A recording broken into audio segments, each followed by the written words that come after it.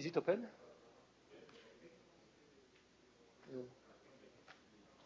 Just connect, then uh, It's okay to be on. let, let me ask the guy.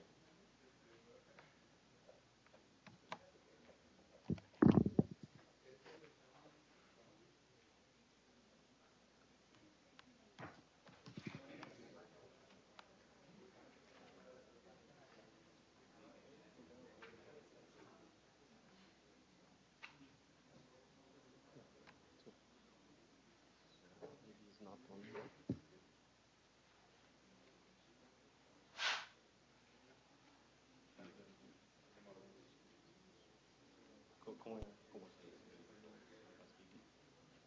Não, porque eu aperto com vocês. Você é ouviu.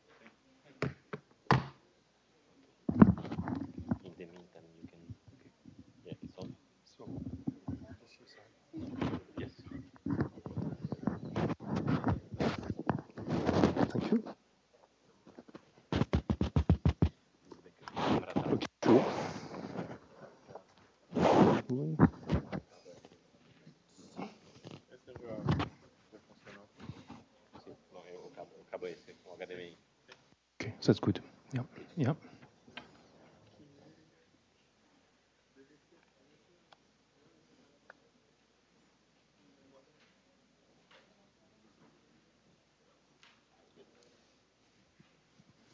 So, a- about the temperatures, how, how is it? Yesterday was very cold. This morning, uh, you're okay. You're not sweating or you're not freezing cold. So you want to? Shall I turn it on for? Maybe I it on for half an hour. or-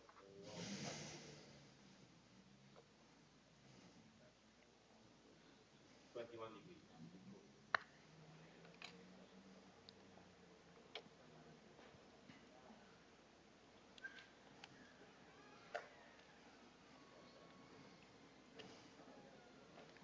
start.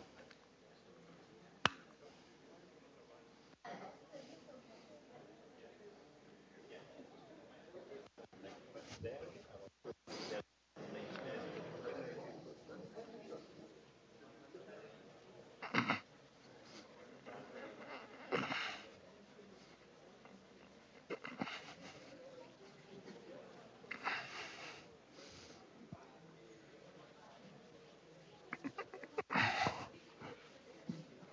now. okay, uh,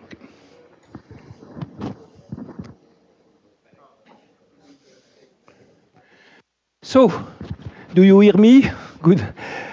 Uh, so we continue.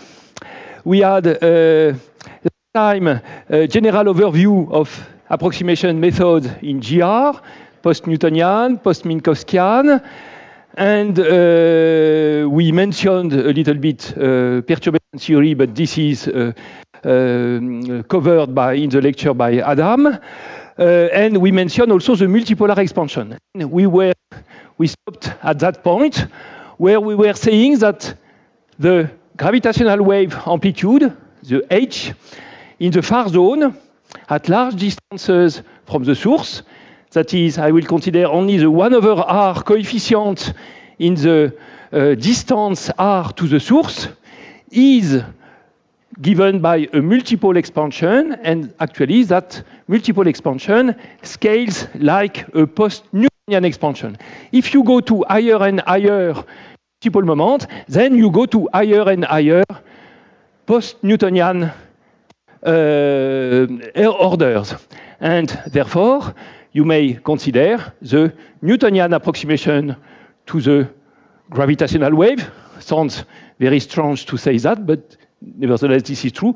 The Newtonian approximation to the gravitational wave is just the lowest order multipole moment, which is radiating, and as you may know, as you know, the lowest order multipole moment of a source that is radiating is the quadrupole moment, L equal to. This corresponds to the tensorial nature of uh, gravitational waves and of GR.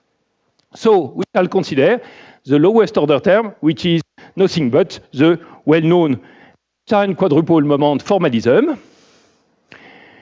which was uh, published first by Einstein in 1918 in the form of the Einstein quadrupole formula, which is the formula for the energy flux generated in all directions by an isolated matter system in the form of gravitational waves. Actually, Einstein, to derive this result, uh, suppose that your matter system is a matter system whose motion, which generates the gravitational waves, is due to non-gravitational forces. And later, Landau and Lifshitz uh, found a derivation of the Einstein quadrupole formula, valid also for self-gravitating systems, which is, of course, very important for us here today because we want to apply the quadrupole formula to binary systems uh, whose motion is, of course, due to the gravitational force. And at the level of approximation of the quadrupole formula, here you will have the variation of the Newtonian quadrupole moment of the source, which is given by that expression. Uh, and at that level, since you neglect higher order post-Newtonian corrections, which are equivalent to neglecting higher order multipole moments, octupole, current quadrupole, and so on, it will be sufficient to use the Newtonian law of motion to derive uh, this quantity, as we shall do on the blackboard just in a few minutes. There is also the formula for the quadrupole formula for the wave itself in TT uh, coordinates that you have seen in the lecture by uh, Ricardo uh, this morning. In the T transverse trace-free coordinate system, there is a formula for the uh, waveform that we shall derive also. And there is a formula for radiation reaction. That is, in the matter source, which is emitting gravitational radiation, at some point in the equations of motion of the matter source, there will be a small correction to the motion which is dissipative, which is responsible for the energy of the source to decrease because of the loss by gravitational radiation. And this formula is depends, the radiation reaction depends on the coordinate system you choose. There are, uh, there are uh, nice uh, coordinate system in which the radiation reaction force is quite simple. And uh, here, this is a coordinate system of Burke and Thorne, uh, where it's just, it is just a term at order 2.5 post-Newtonian order, v over c to the fifth power, beyond the acceleration of your matter system, the Newtonian acceleration, and this is given simply by the fifth time derivative of the uh, quadrupole moment. So let me show you how one derives the quadrupole moment uh, um, uh, formula for the amplitude of the wave. So I will try to keep the notation of previous speakers uh, in the school. And I will thus consider the problem of the gravitational wave generation from an isolated matter source. I will have my matter source made, for instance, of some hydrodynamic.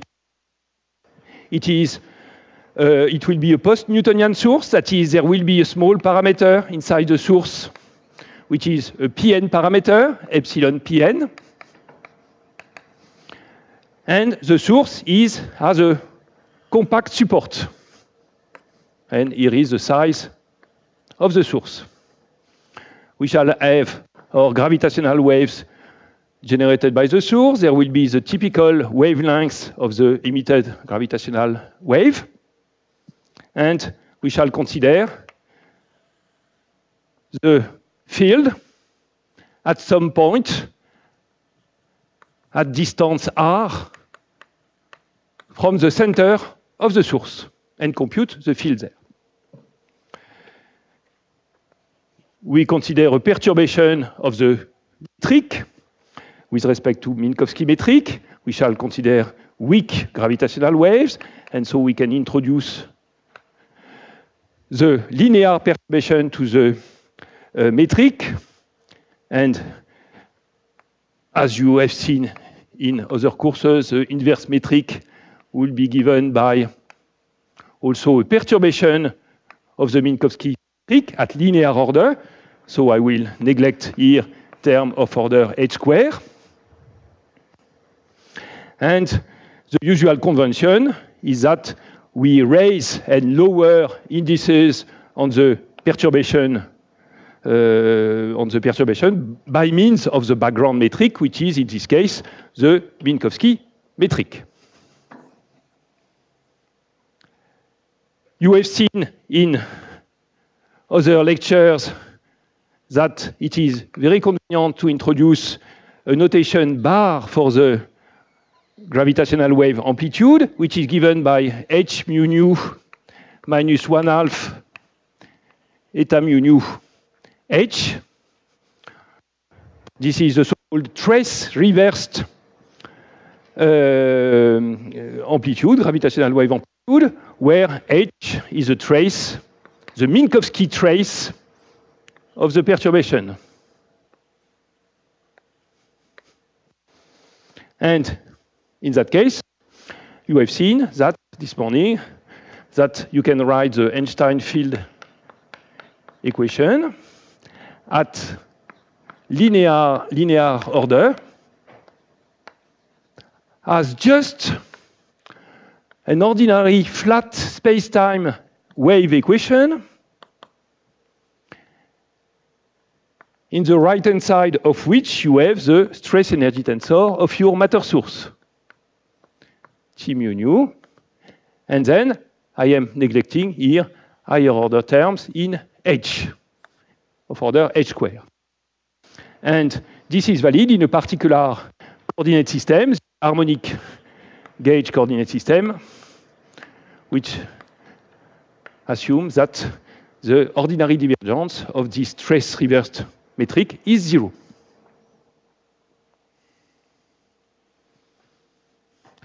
Note that this, in this approximation,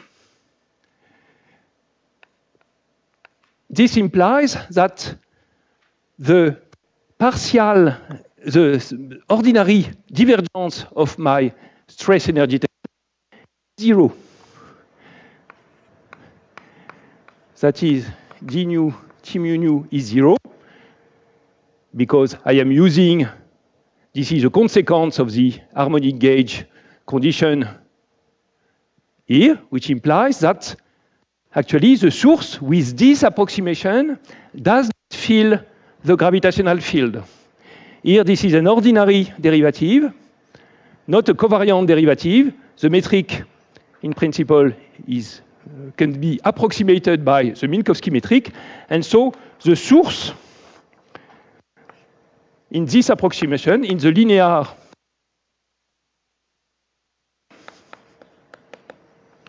the matter source, that is the equation of motion of the source, do not fill the gravitational field. The gravitational field. One needs to go to higher order to quadratic order in the approximation to describe consistently the motion of the source will be uh, modified by the gravitational field itself. Excuse me, I will, uh, it's indeed quite hot. so uh, I'm using that. It's very complicated.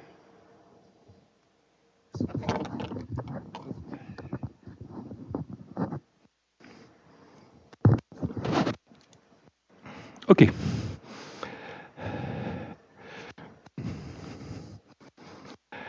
So now we have just a simple wave equation to solve, and we shall use the usual retarded integral over the source. So I, I will introduce a small vector x prime inside the source. I will write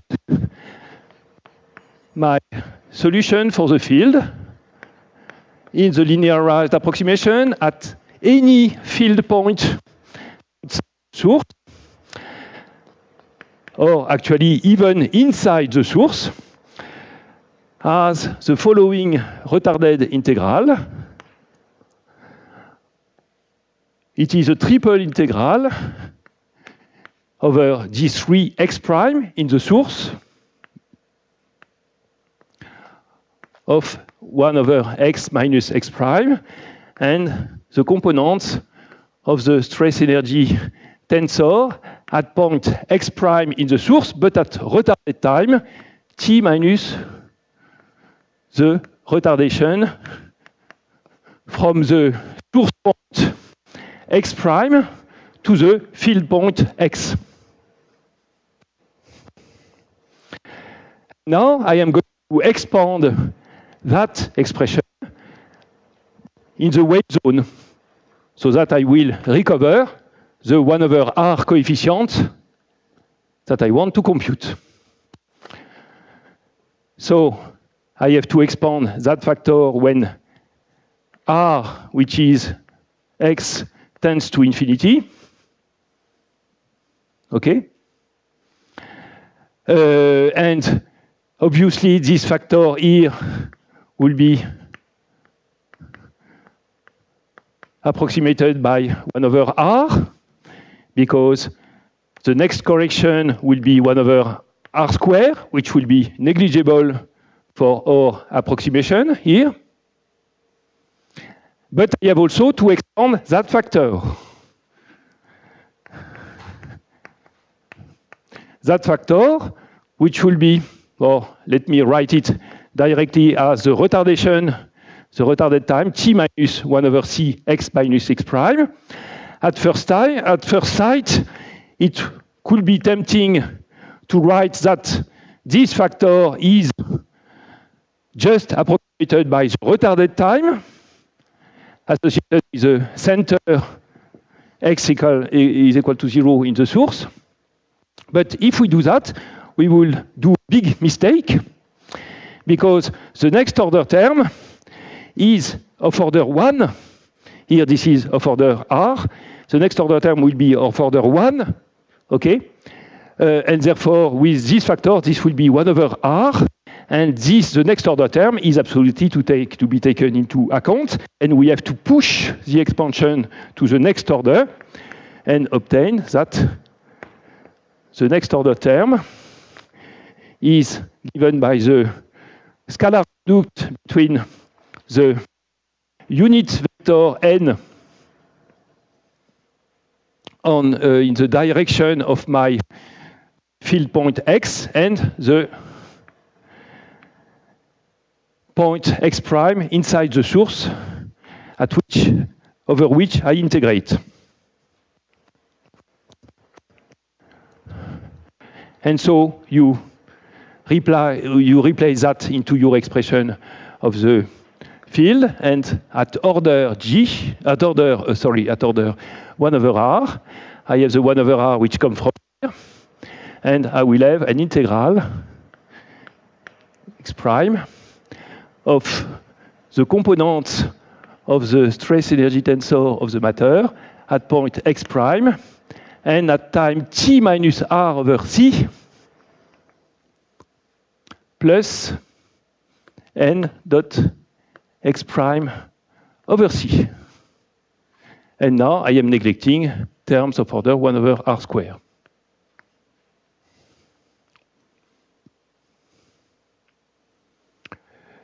So you see that this whatever r term is exactly like that. This is the waveform, and the waveform depends on n and so on. So I can, at this point, perform a post-Newtonian expansion that is using the fact that this term is small with respect to the to r, because this term is of the order of the size of my source as compared to the distance to the source. And in doing the post-Newtonian expansion, when c tends to infinity, I will also obtain a multipole expansion. Because in the first approximation, this will be either monopole, dipole, or quadrupole, depending on the components that I am considering, either 0, 0 or 0, i or ij components. But to the next order, I will add a factor x prime to my expression, and therefore I will increase the multipolarity of my, uh, of my expansion. So you see again this post-Newtonian, which is equivalent to a multipole expansion.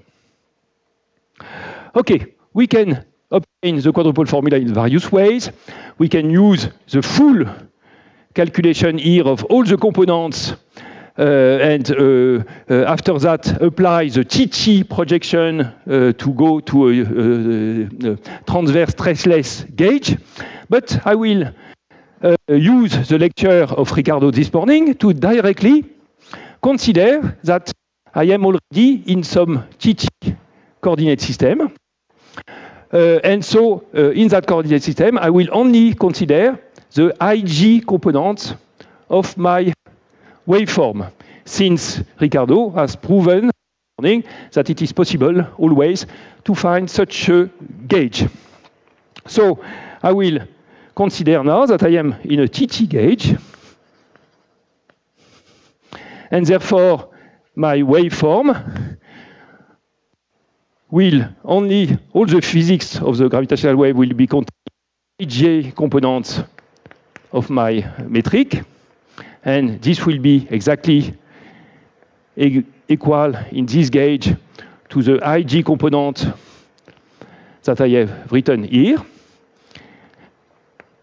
except that there will be a TT projection operator acting on the integral of the source which is here, Tij at point x prime, t minus r over c plus n x prime over c. And here I will introduce uh, a TT projection operator, which I will call PIJKL.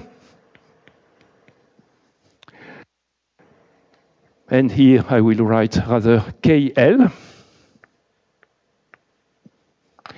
which exactly selects the component of the metric which correspond to the plus and cross polarizations, so that my metric will be just described by the two polarization, one for the diagonal and the other one for the off-diagonal elements. And the T projection operator defined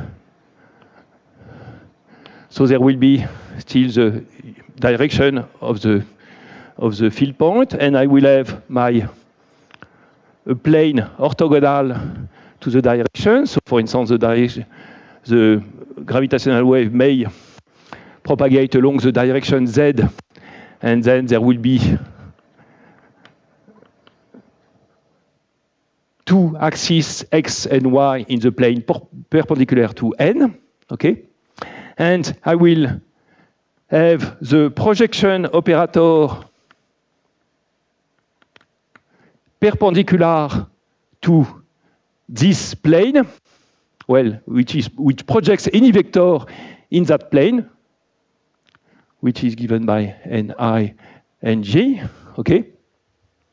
And then the TT projection operator, which is there, is given by Pij KL TT, which is P I K P uh, L J minus one half P I J P K L. And I think that I have to put a symmetrization uh, here to define properly the operator. And you may, if you like, also introduce in this plane two polarization vectors. So let me forget about this axis and use these as by introducing two polarization vectors orthogonal to n.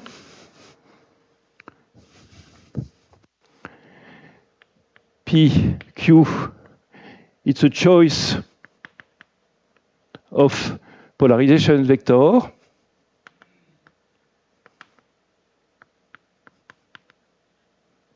and obviously this choice there is uh, there are conventions for uh, special types of source. For instance, if you have a binary system, there will be special conventions for the polarization vectors. And now the two polarization H plus and H cross are given by uh, uh, simply projection of the TT waveform that has been obtained. Namely, I will have Pi, Pj minus Qi, Qj over 2 for the for the plus polarization, and H cross will be Pi Qj plus Pj Qi over 2 multiplied by Tt for the HIGTT for the cross polarization. And furthermore, when I plug this into that, I am allowed to remove this prescription because it will be killed by these uh, projections and I will recover the standard H plus and H cross uh, polarizations.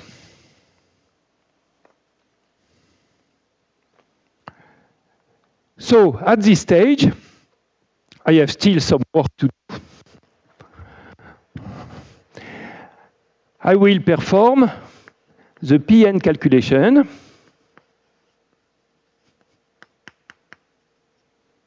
And I will simply, at this stage, neglect the retardation which is here. Neglect at lowest order.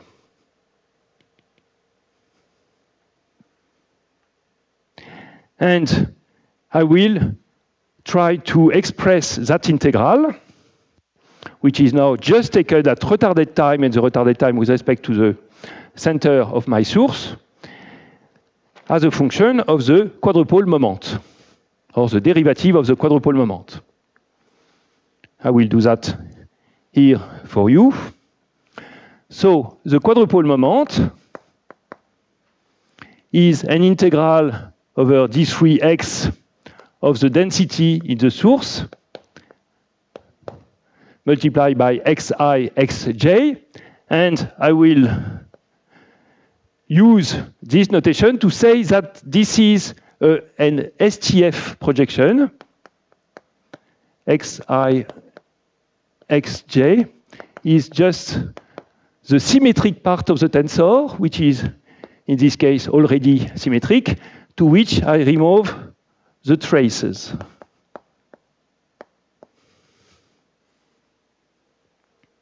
And the rho, which is here, is the Newtonian density of your fluid. This is nothing but that the zero component of the matter stress energy tensor. So now, let us compute the second time derivative of the quadrupole moment.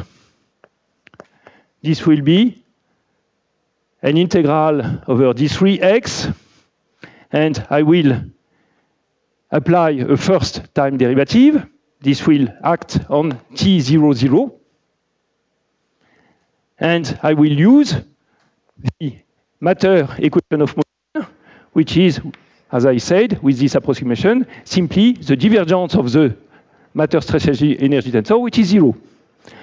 So I will get dt of t00, which I am going to replace by dk, say, of t0k. Minus dk t0 k xi xj and I will integrate by part, and the total divergence will be zero because this will be a total divergence and my source is with compact support with this approximation. So the divergence is zero. And so modulo a change of sign, I will have d over dt integral, so I put the, I apply the divergence on the other factor. So this will be T0 K. The divergence acting on xi and xj. There will be two factors, and the two factors will be x multiplied by delta jk. So I will have something like t0i xj. And I don't care about the which indices is first or second because I have still my STF projection. And I am going to do again this derivation. So now I am reusing again my conservation law, my equation for the matter. So I apply, uh, I replace that by minus dk tk i x j, and again I do uh, an operation by part, and I find that this is exactly 2 integral d3x over the source of tij. STF. Over the source. And therefore, I have my quadrupole formula. Hij is equal to 4g. There is a factor 1 half coming from here. So it will be 2g over C4R.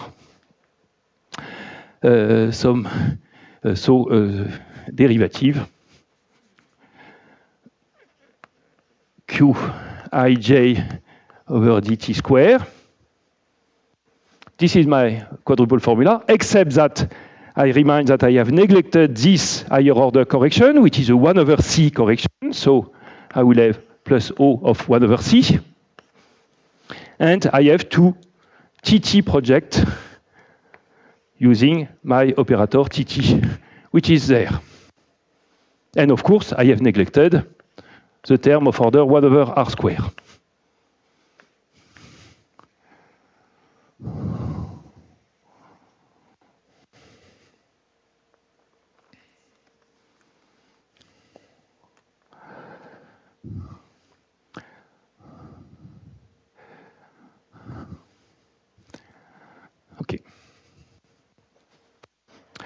So, oh, so that's a little bit.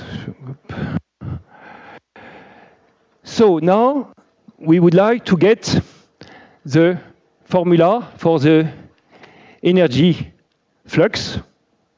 Okay? Uh, and also there will be a similar formula for the angular momentum flux and also a similar formula for the linear momentum flux. The Later, uh, this flux for the linear momentum, which would be due to the fact that the gravitational waves uh, removes uh, linear momentum from, from the source. If the, generally the gravitational wave, the emission will not be uh, isotropic. And so this will imply a recoil of the source, total recoil of the center of mass of the source. So at this point, I will not compute the Einstein quadrupole formula immediately, because tomorrow I will do that systematically, and I will do that not only for the energy, but for the other conserved quantities, conserved in terms of gravitational wave emission. And we shall see tomorrow that in the usual quadrupole form, uh, formalism, uh, there is something missing that we shall, uh, I shall discuss uh, tomorrow. This is related to the center of mass of the system, and we shall derive in a more general way all the fluxes that we have associated with energy, angular momentum, linear momentum, and uh, possibly the center of mass position. Now I will assume that uh, these formulas have been derived, so I will do that systematically tomorrow. Uh, and we shall apply that to a binary system. So I will take for granted that I have the quadruple formula for the energy, the similar quadruple formula for the angular momentum, d over dt, which will be what I will call the gravitational wave flux.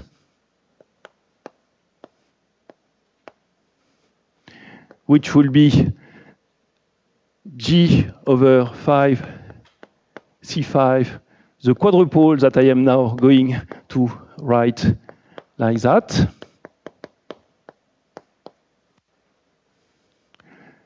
Plus corrections of order 1 over c square, 1 pn corrections.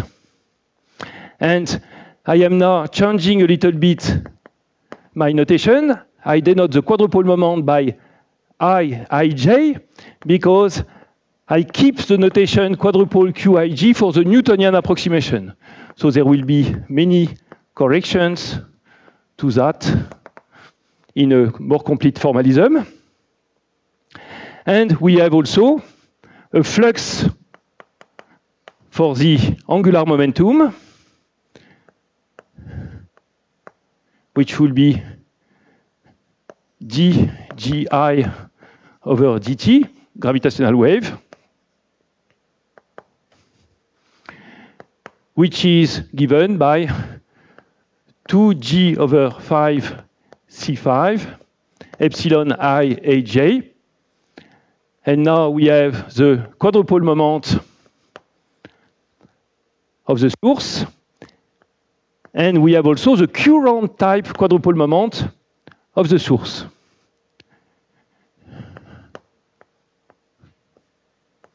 And there are two time derivatives here and three time derivatives there. And again, this is valid up to order 1 pn order.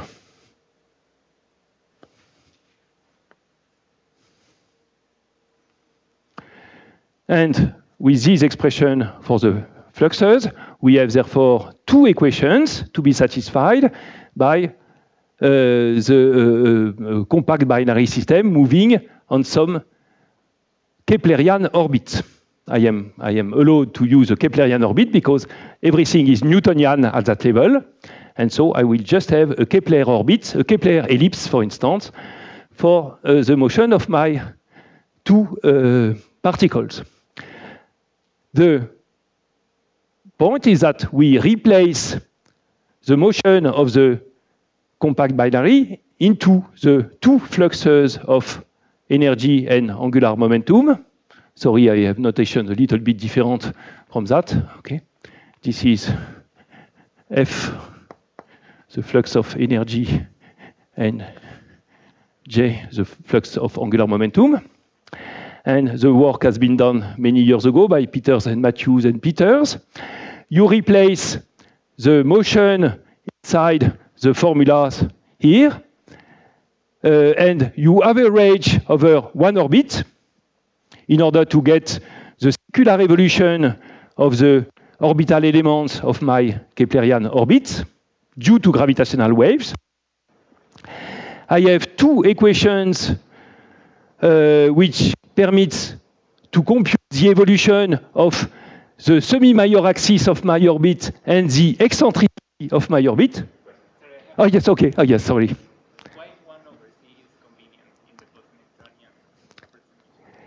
Why 1 over C? Yes. the small parameter is in principle epsilon is V over C. But when we do computation, actually, we can assume that V is fixed and C tends to infinity. So all expression, when you see 1 over c, uh, you imagine that c tends to infinity with v fixed. And so this is Newtonian approximation. Uh, that, uh, yeah, okay. You will never make mistake in doing that. Of course, people generally like to have dimensionless small parameters. Uh, that are really numerically small. But uh, so it's uh, so each time you have all these, this you you just look at the powers of 1 over c to need to know at which post-Newtonian order you are, and that's simple. Okay. okay. Okay, so you have two equations to evolve the semi-major axis of the orbit and the eccentricity of the orbit. And using the Kepler law, you can relate the evolution of the semi-major axis to the evolution of the orbital frequency.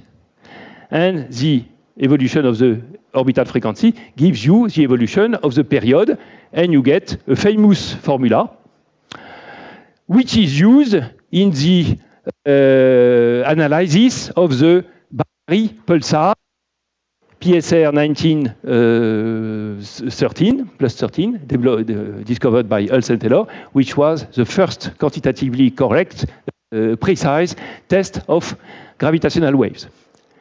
In this calculation, there is a non-trivial factor depending on the eccentricity, which is due to Peter and Mathews. And there is also a non-trivial factor here in the evolution of the eccentricity of the binary. These factors actually come from the average over the orbit. The calculation is rather uh, long and I will not uh, do it uh, for these lectures, but I will do it in a more, more similar uh, case of uh, circular uh, orbits. And this is the formula that is used for the binary pulsar again. Okay.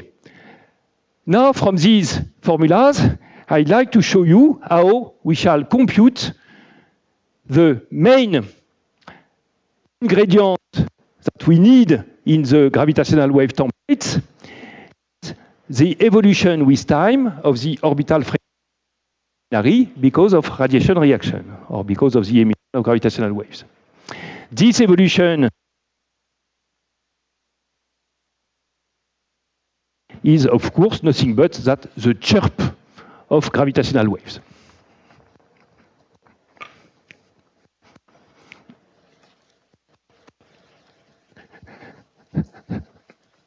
The first point is that the compact binary system, because of the loss of angular momentum by the system in the form of gravitational waves, will actually circularize rapidly. And uh, I had uh, I had some notes on that which I can show you maybe. Yeah. So from uh, so just I will take just a minute to explain that. From these two laws, there is a consequence of these two laws is that as a function of time, the eccentricity of the binary orbit as a function of time because of these laws. If you combine these laws, you find that the eccentricity at any time during the evolution of the orbit obeys a particular law, which is due to Peters. And there are funny co coefficients in that law.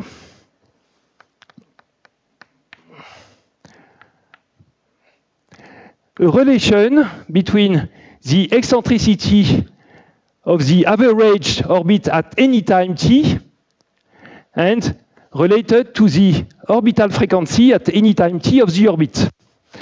And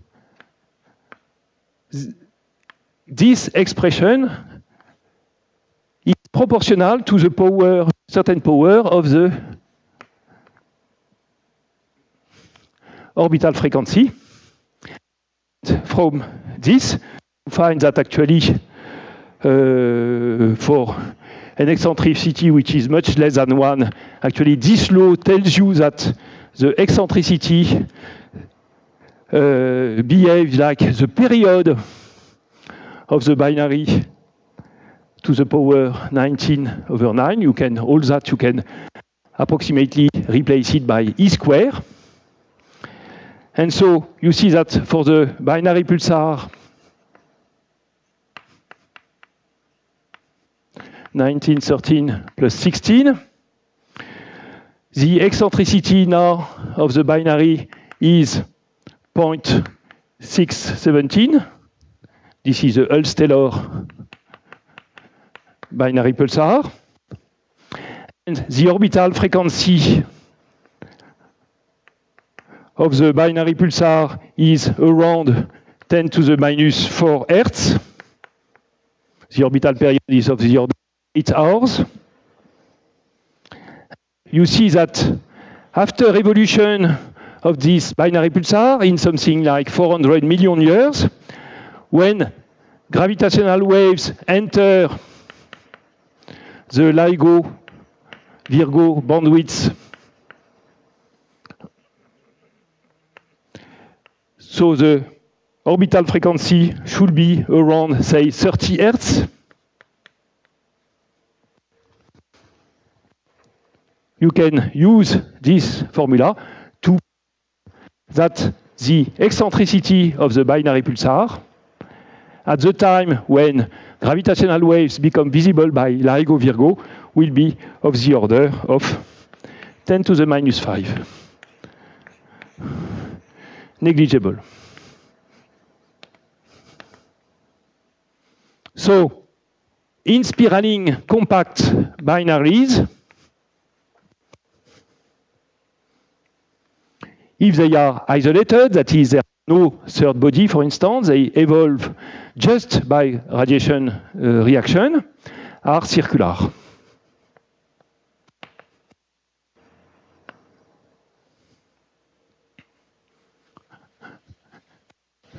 So for circular orbits, the previous formulas simplify very much, and I will compute the evolution of the frequency and phase of the signal.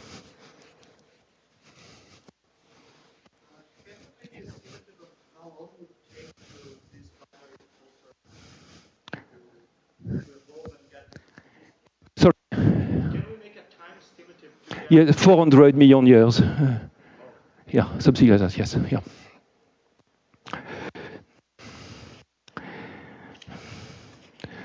Those are not.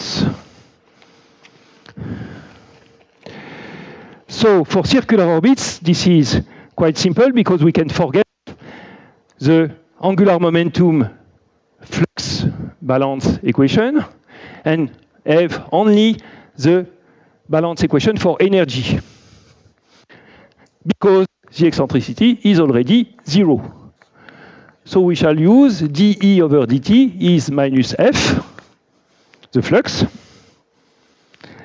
and E will be the conserved energy of the binary system in the absence of radiation reaction effect, and F is the flux.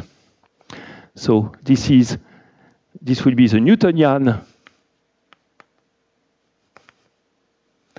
energy of the binary uh, system, conserved in absence of gravitational wave, and the flux is given by the quadrupole formula. This is Newtonian energy, but nevertheless, I will add the mass term associated with the two particles because we are doing GR, and actually this energy includes the mass correction, the, ma the, the rest mass of the particles. And then at that approximation, I will have the standard kinetic energy for the two particles. So I will have my binary system which will be on circular orbits. I will have my two masses, say M1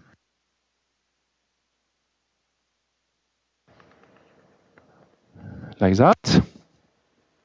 I will have my center of mass here, which will be the Newtonian center of mass. Okay? And the total energy will include, of course, the potential energy of my binary. And then I neglect the higher order corrections that are not relevant because of my approximation here. Only quadrupole Newtonian radiation. I will use center of mass variables. I will have my first variable, which will be y1, and for the other particle, y2. And so y1 will be given by x, uh, so I will have special Uh, notation. So it, I will denote it by x2x, and y2 will be minus x1x. And I denote x1 the ratio between mass 1 and the total mass m.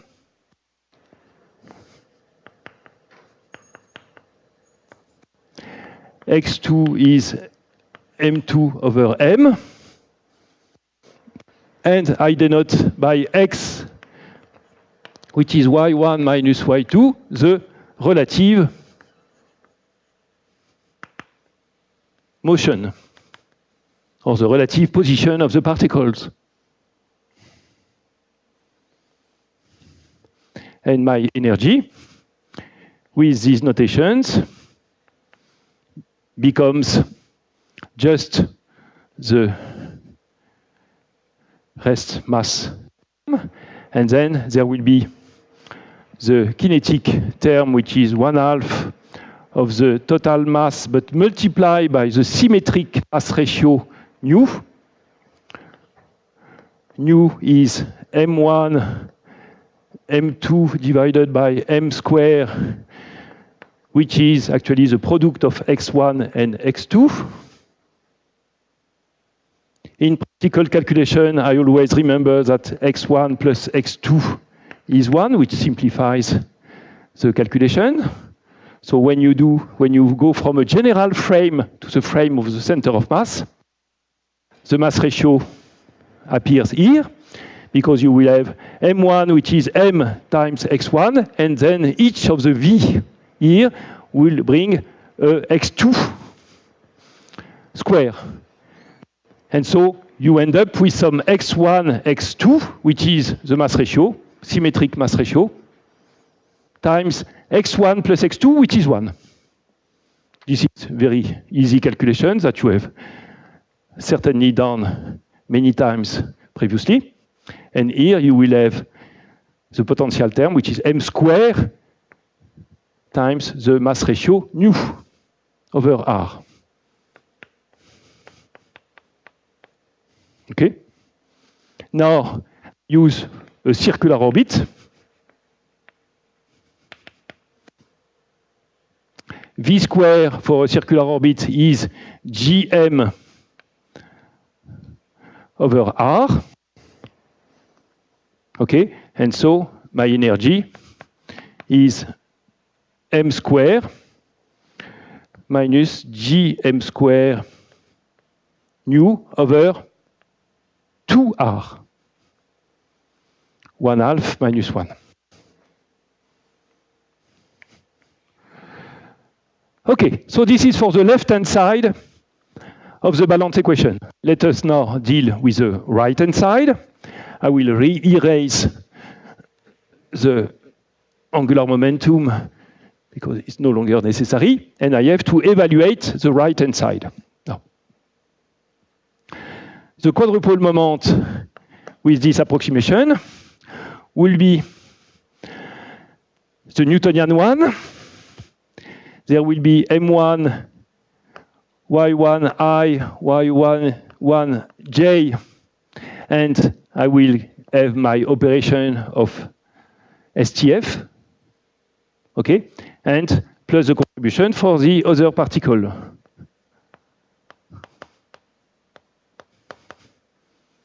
Okay, plus always terms of order 1 over c square. And I go to the frame of the center of mass, and this becomes m nu xi xj, where x is the relative position between the two particles. And I have still to apply my STF projection.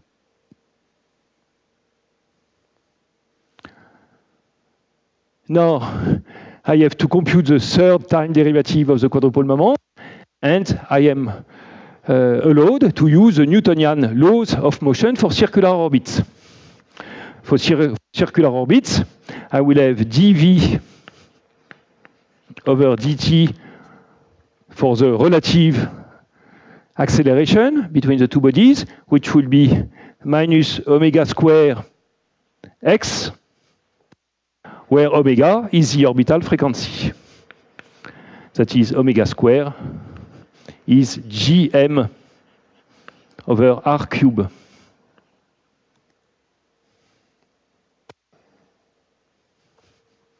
So when I compute the first time derivative,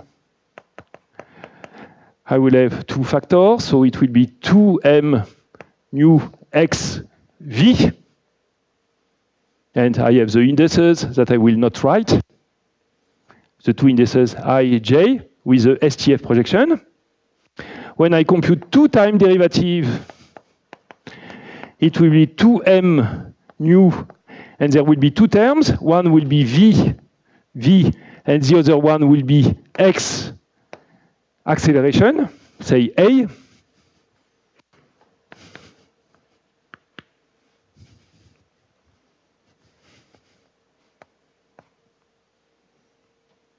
But I will replace the acceleration by the law of motion. So this will be minus omega square x, x, where I have just used this expression. And finally, I have my third time derivative to compute, which will be the 2m nu. There will be 2va minus omega square, and the frequency is constant. I compute that for an exact Newtonian orbit. Okay, exactly circular, exactly circular. So the frequency, the distance between the two particles is zero. Oh, sorry, is constant. And now I will have 2xv coming from the derivation of that. But again, I replace the acceleration by the law of motion, so there will be, it will become minus 2 omega square xv. So I have in the end minus 2, minus 2, 2, minus 8 m nu omega square x i v j STF.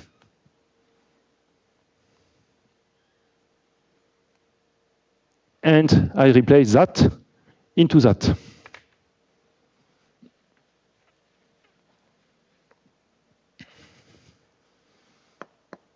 So there will be this factor, g over 5, c 5. There will be, so the square of that, so minus 8 m nu omega square square. And this, the square of that, one should be careful about the STF projection. So the first will be xi, vj. The STF projection is that you first symmetrize with respect to the indices, like that. And so I have to add a one half to symmetrize. And then you subtract the trace. But what is the trace in that case? The trace is x dot v.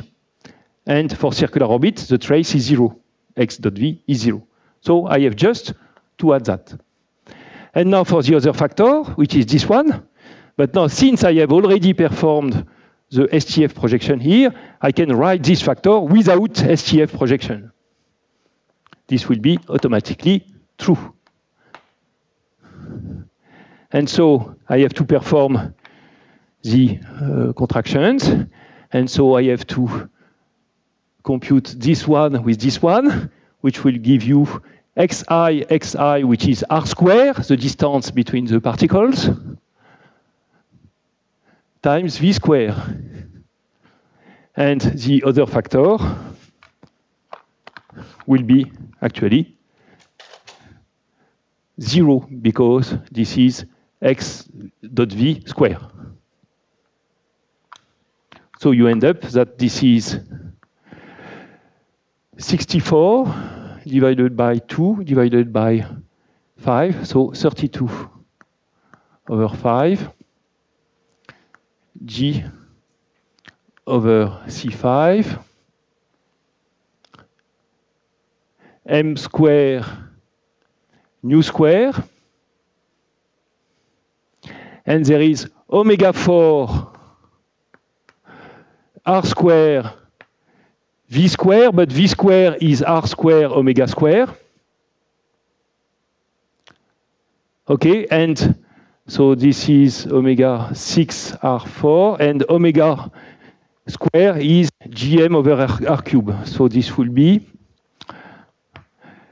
gm uh, over r9, so cube, cube, 9 and 4 here, so that it would be 5. So g cube m cube over r5. Okay? And which I will rearrange in the following way. So I will have my flux, which is capital F in my notations which would be 32 over 5 here. And I have the factor g over c5, which I will transform as a factor c5 over G. You will see why.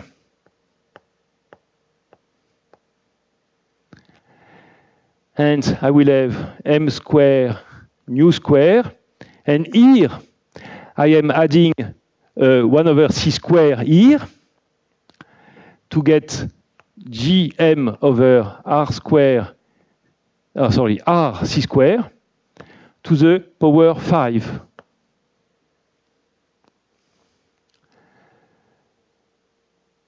So I think that this is correct. The masses seem to be correct, 5, 6, 7. Uh, maybe I overlooked some masses. No? Okay. Uh, GM.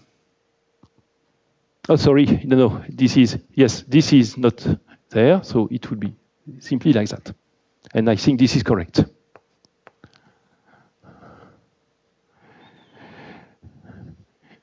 Notice that the only dimension full factor in this expression is this factor. This C5 over G has a dimension of a power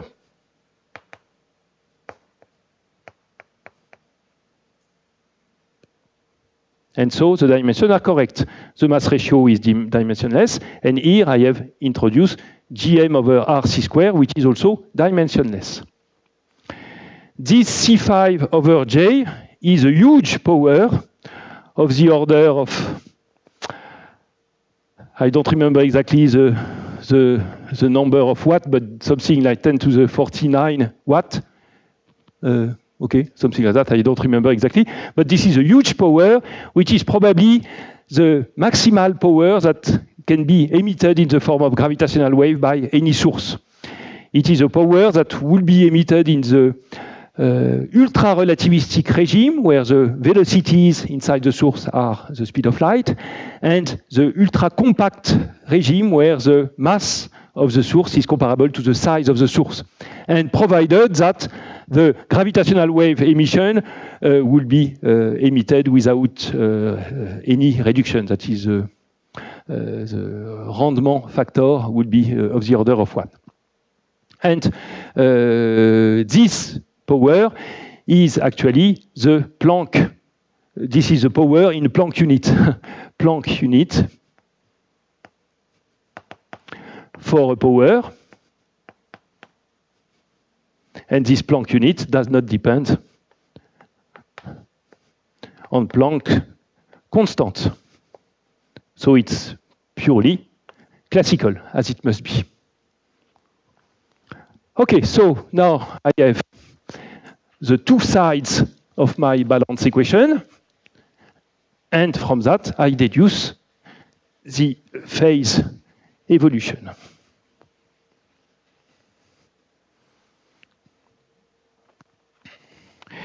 It is useful to introduce the small parameter x, which will be gm over r c square.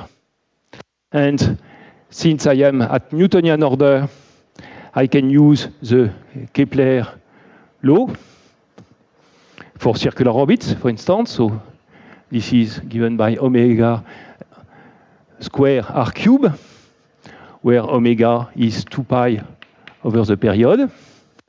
So this small parameter is actually gm omega over c cube to the power two-thirds.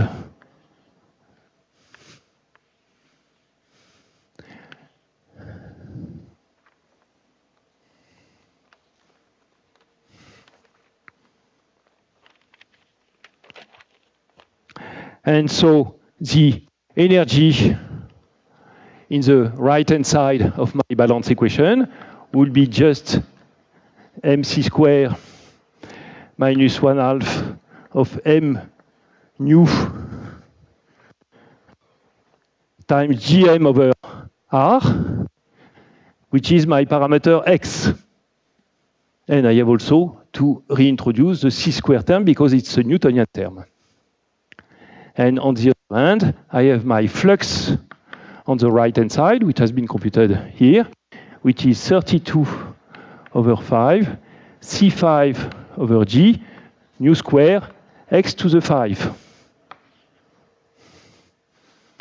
So I replace this into the balance equation and get an ordinary differential equation for x. Namely, d over dt will be minus half m nu x dot c square, which should be equal to minus the flux c5 over G mu square x5. By the way, I, I checked. So that luminosity is 10 to the 52. So, sorry, that luminosity should be 52. 52. Okay, 49 is the, the peak luminosity of the first. exactly. I remember that 10 to the minus 3 of the maximum allowed. So, on this point of view, we have still uh, interesting discoveries with astronomy of uh, maybe some sources which could be even more powerful. Yeah, yeah, yeah, yeah. So, 52.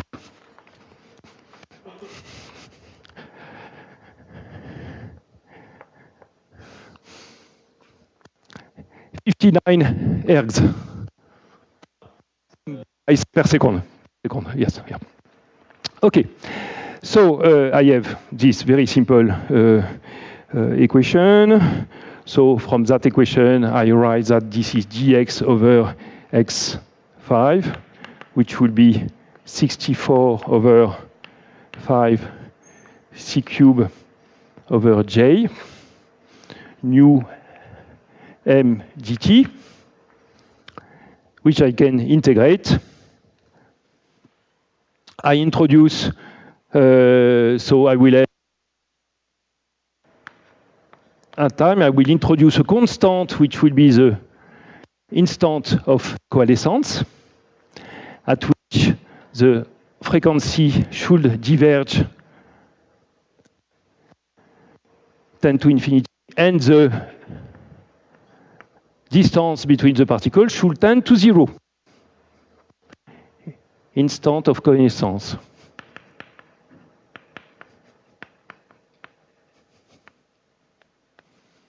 And so from that, you deduce immediately that x of t is 256 over 5 of c cube over G nu over m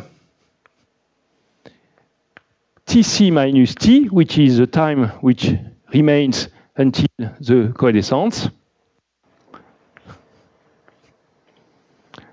to the one-fourth power.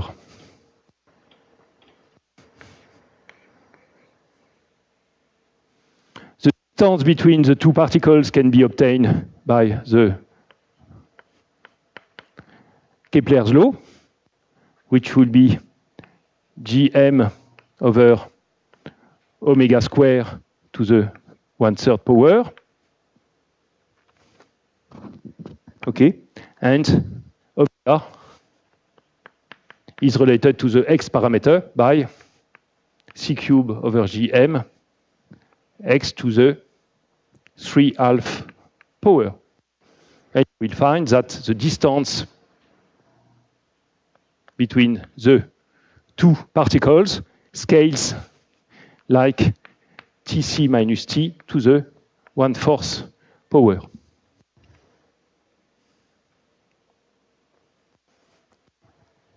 So, uh,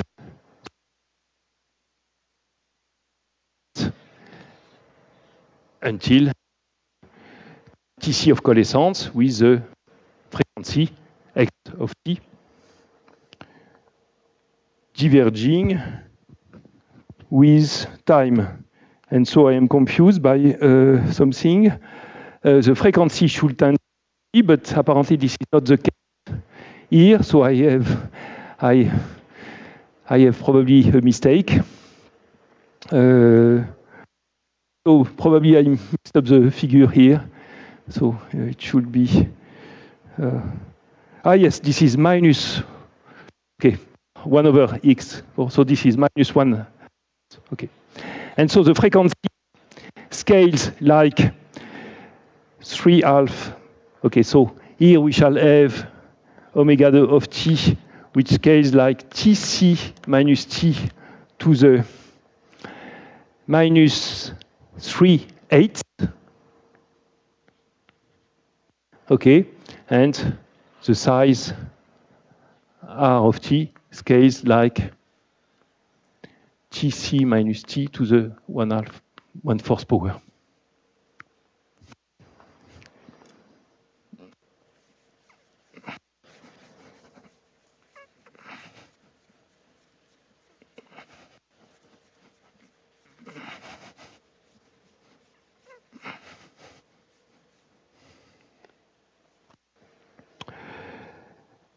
The phase is obtained immediately as the integral of the frequency. And uh, so let me compute it in detail. This will be gm integral of my parameter x to the 3 half power. I go from omega to x. And dt I write as dx over x dot and x dot, I know it from this equation. So I have dx over x dot. And this gives me, using the previous equation, uh, something like 5 over 64 g over c cube m over nu 1 over x5 dx, where I am using this, this equation, which is equal to 5 over 64 nu mass ratio in the denominator, which is completely normal, integral x minus 7 half dx. Why is it normal? Because when the mass ratio tends to zero, the time of the coalescence will get longer and longer, and the, uh, therefore the phase will diverge when the mass ratio tends to zero because the radiation reaction effects are tending to zero and the radiation reaction time scale tending to infinity. And so I get the result is that this is simply using the previous equation minus 1 over 32 nu x to the minus 5 half. And of course, I have to add a constant to that, which will be an initial phase for the binary. So finally, I write phase evolution, which will be phi naught minus 1 over 32 mass ratio nu, symmetric mass ratio, x to the minus 5 half. In the Newtonian approximation,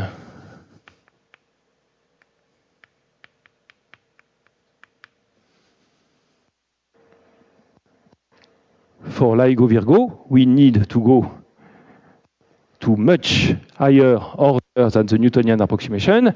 And if you include corrections to the Newtonian approximation, these corrections will be like that. There will be one for the Newtonian approximation.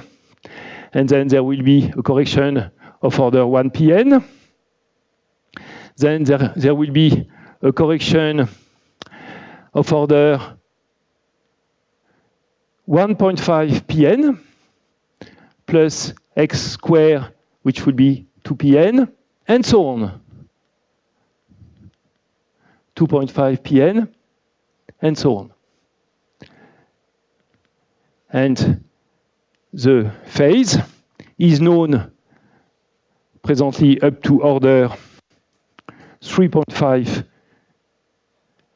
Pn. Beyond the leading term, which is itself the formula, but which is therefore itself, when considered as a small effect, the equations of motion, small radiation reaction effect of order 2.5 Pn. So, in the next lecture, we shall probably see some uh, results on this expansion, but Uh, I don't know how much time I have now. Can I leave by uh, just a small argument to uh, tell you? Yes, okay. Uh, I, I'd like to, I, it would that I tell this now. I wanted to finish by, you know, there is a very important problem. We use point particles. Uh, but uh, in real life, this will be a neutron star or possibly a black hole. And I'd like to investigate what is the influence of the stars are not point particles. That is the influence of the structure of the objects in the case of compact bodies. So let me just do that. The influence of the internal structure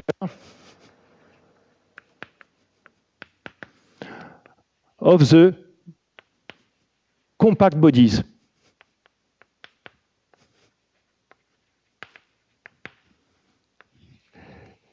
So I will have now, I will assume that now I have extended bodies with mass m1 and m2, and that I have now a, a size of the body Okay? And because I will have now finite extent for each of the bodies, we'll have some quadrupole or higher order uh, deformations of the bodies because of the tidal effects between the two bodies. So I have my distance between the two bodies, which is r, okay? And because of this internal structure of the bodies, I will also have two quadrupole moments induced by tidal deformation uh, due to the other bodies. since the tidal field between the two bodies or applied to the body 1 due to the body 2 scales like g, the mass of the body 2 uh, divided by the distance between the two body cube. You know, this is a double gradient, reminds the double gradient of the Newtonian potential, which is gm over r. This is a tidal field. Here is a Newtonian force, and the tidal field is a differentiation of the Newtonian force. So this scales like 1 over cube. The quadrupole moment due to the tidal deformation, to the tidal field, the quadrupole moment of body 1, will necessarily scale like 1 over.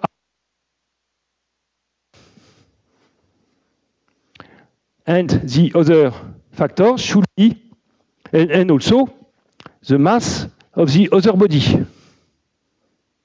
And this is a quadrupole of body 1. And now quadrupole is a mass multiplied by a length square. And you have only one length at your disposal, which is the size of the body 1. So it should be a1 to the fifth power. And of course, there, there is a numerical factor in front, which is dimensionless, which I will call k1. And this is what we call a Love number. And I think this is a paper from 1908 or so, Love number, which describe the response of the body to this tidal field due to the other body. And this Love number depends on the internal structure of the body. These two quadrupole moments will affect the orbital motion of the two bodies and also the flux at infinity. And notably, if the quadrupole are moving, this should be included in the flux, in the quadrupole flux. There will be, the quadrupole will be the orbital one plus the quadrupole of the two bodies. And the two, the left-hand side and the right-hand side of the balance equation will therefore be affected by the presence of this quadrupole moment. And in fine, you redo your balance equation with these moments, and what you find is that there should be an extra term that I will write it here, which will be uh, so this, this effect is purely Newtonian. So this effect should not contain x. Okay? Or it should, it, sorry, it should not contain the speed of light. And so it should be made of x, which is another way to write that it should depend on r. And it should depend also on what we call the compacity of the stars. Compacity, which would be the ratio between the mass of the star, so for, for one, divided by the size of the body. Okay? And there is only way to write this term. You can justify it by more, cal cal more calculation, but there is only one way to write this term because it is Newtonian. It is as a ratio between x over k times with a certain power. And what is this power? Actually, this power is determined entirely by the power which is there, which corresponds to, quadrupole to, to the quadrupole deformation. And this power, you can find the calculation, but I mean that when you think of it, this is trivial. This should be power 5. And in front, there should be some numerical calculation, some numerical factor which depends on the Love numbers of the two bodies in a particular way, and therefore which depends on the effect of the internal structure.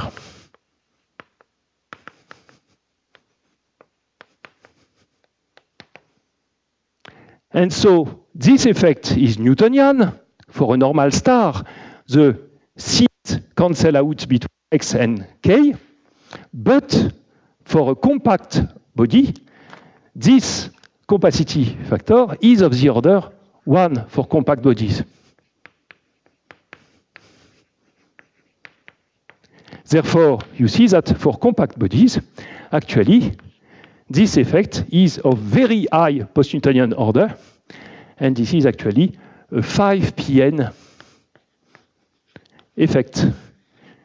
You have this k is 1, therefore this k is like x to the 5, and x is 1 over t square. This is 1 over n. It's an extra, very small, very small effect on the point of view of post-Newtonian expansions. So uh, I have written it here, and indeed it is in principle, at least in the much smaller than all the PN corrections that have been computed for point particles. Okay, thanks very much.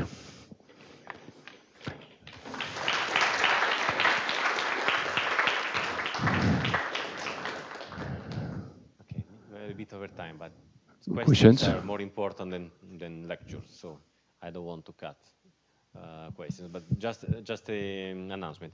So we have some questions. We go and have coffee, and then I suggest that at 4:20, 25, whatever, we resume uh, in the room on the first floor. On the first floor, there are a lot of desk plugs. You can go there, and we'll all go there. You can sit and do exercise, and um, we'll be around if you want to ask questions about specific exercise. We can give you more exercise than you have already in the notes. If, if you don't like those which are in the notes, we can think of new ones. But the idea is that after the break, we reconvene in, on the first floor and sit on the desk and do exercise. But now, questions for Luc.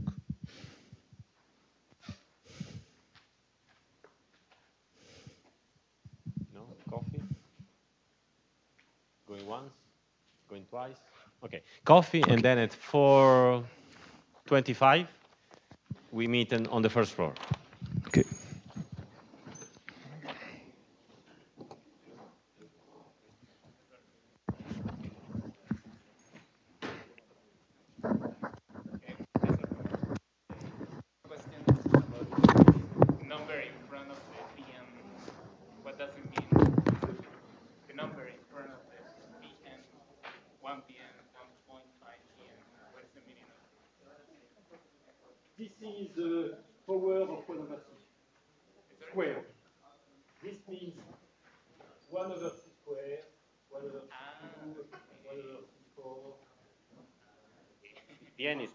Antônio, né? Is the acronym of Post Antonio.